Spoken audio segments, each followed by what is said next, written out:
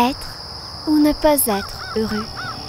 C'est peut-être une question de chance, de perspective, de momentum. Allez savoir. Heureusement, pour certains d'entre nous, c'est juste un peu plus simple que ça.